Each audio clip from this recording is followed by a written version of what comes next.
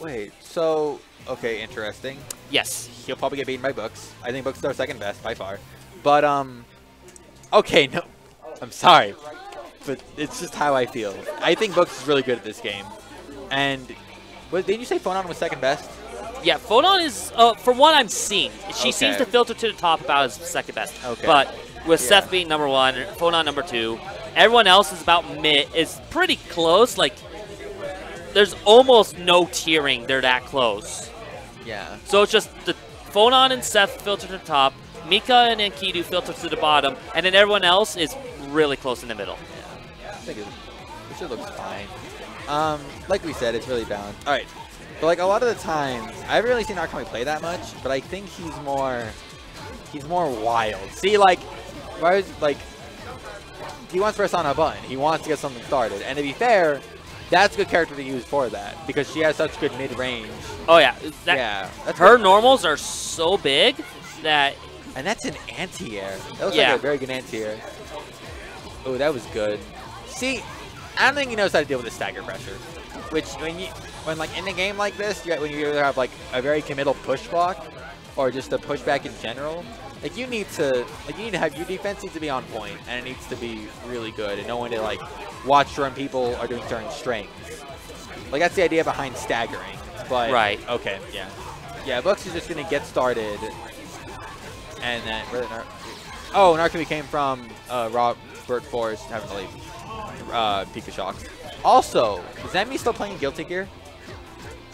Huh? Does that mean Brute Force still playing Guilty no, Gear? he had to leave completely from the sounds of it. So, So he's not even going to play in Guilty Gear. yeah, Yo, that sucks. That actually sucks. We should summon Matt. What do you have to leave for? I don't know. I'm All I was told is that he had to leave. I'm so tilted. Man. He's like one of our better Guilty Gear players. Man. All these games I used to play that it's like I, I should have represented, but I just been playing so many like I haven't even really been playing them. Like I haven't been playing Uni all that much. I haven't really been playing much of these. But all right, so Narukami has a good offense started. He's Yep. good combo. and He just he, he, that's really disrespectful. And I think it's because he he's really good with that normal. Yeah. It looks like, yeah.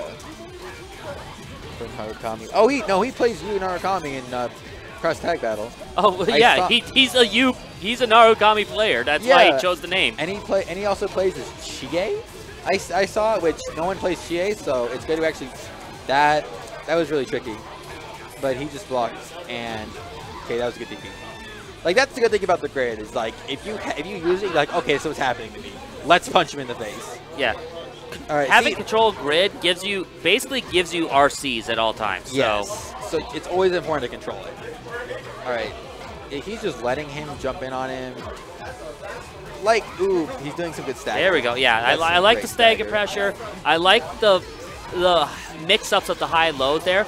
Beautiful call out in that Yeah. situation too. Oh, he did same. That was a bad punish. He should have killed him for that. All right. Like, this is actually going pretty good for Phonon. Oop, got hit. All right, that's...